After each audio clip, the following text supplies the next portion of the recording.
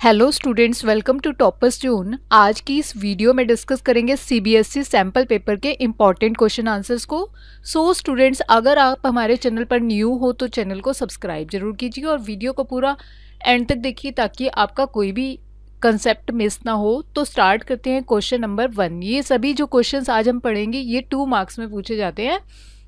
Question number one है a father is three times age old as his son एक father हैं जो कि थ्री टाइम्स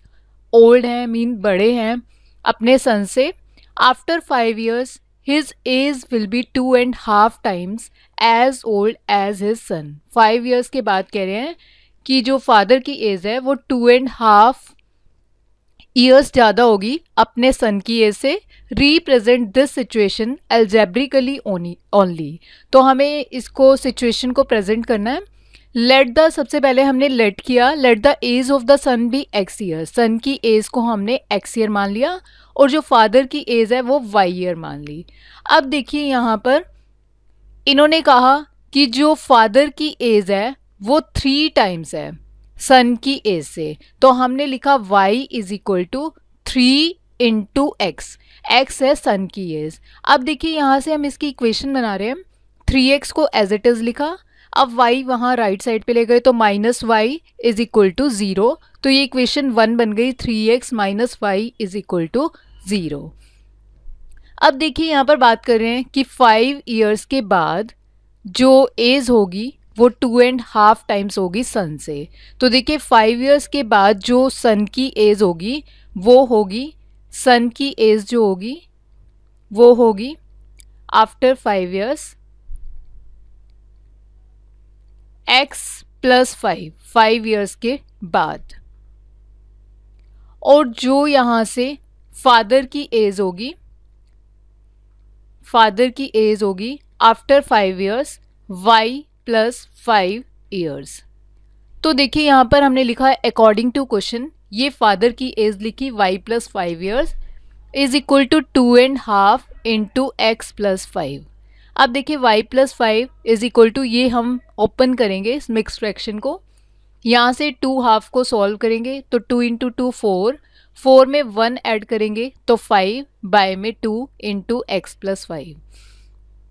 अब देखिए हम इसे सॉल्व कर रहे हैं। सॉल्व करने के लिए हमने, हम इसे ऐसे भी कर सकते हैं क्रॉस मल्टीप्लाई करके। टू को वाई से करा टू वाई प्लस टू को फाइव से करा ten is equal to five को एक्स से मल्टीप्लाई करेंगे फाइव एक्स और फाइव को फाइव से करेंगे ट्वेंटी फाइव अब देखिए, ये हम सब राइट right साइड पे लेके जा रहे हैं। तो five X plus twenty five is equal to यहाँ पर हमने लिखा five X plus twenty five अब ये यहाँ प्लस है तो माइनस हो जाएगा minus two Y plus ten है तो minus ten is equal to zero अब देखिए, इसे सॉल्व करके आएगा five X minus two Y हमने एज इट इज़ लिखा। ट्वेंटी फाइव में से टेन माइनस करेंगे fifteen is equal to zero तो यही आंसर होगा, हमें इक्वेशन में आंसर लाना था। नेक्स्ट क्वेश्चन है।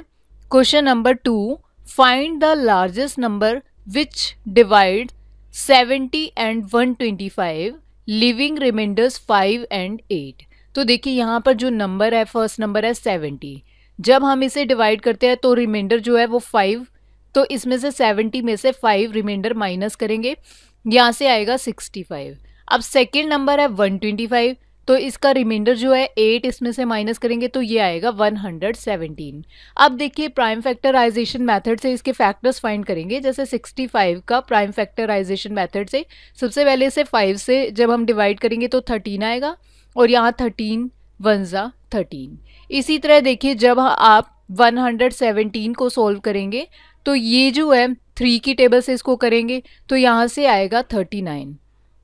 और अब इसे डिवाइड करेंगे तो यहाँ से थर्टीन और थर्टीन वन ज़ा थर्टीन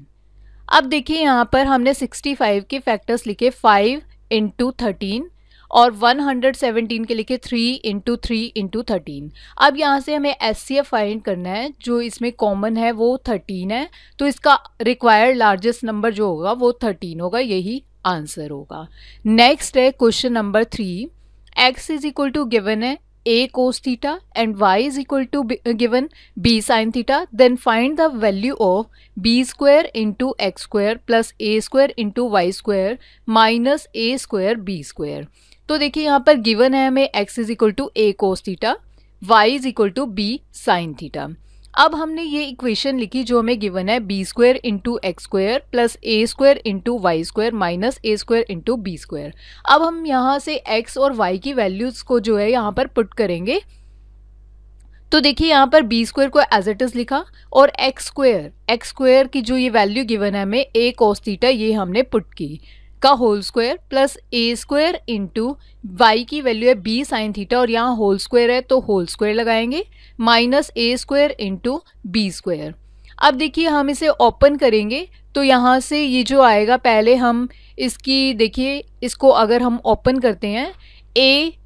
का स्क्वायर लिखेंगे और ये बी स्क्वायर और कोस थीटा का होल स्क्वायर होता है cos square theta plus A square इसी तरह बी का स्क्वायर और sin square theta minus A square into B square. अब देखिए यहाँ पर नेक्स्ट स्टेप जो होगा, ए स्क्वायर, बी स्क्वायर जो है, यहाँ से हमने देखिए फ़र्स्ट और सेकंड टर्म में से कॉमन ले लिया। अंदर रहेगा को स्क्वायर थीटा प्लस में sin square theta minus A square into B square. और यहाँ से ये जो है, आइडेंटिटी होती है, sin square theta plus cos square theta की वैल्यू जो होती है, ये वन होती है। तो यहाँ पर हम इसकी वैल्यू पुट करेंगे, वन लिखेंगे तो ये स्टेप आएगा A square into B square.